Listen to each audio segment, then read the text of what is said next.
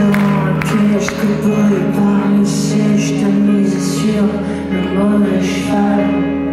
C'est ton premier cri et tout le monde applaudit, ça fait plaisir, mais ça fait mal.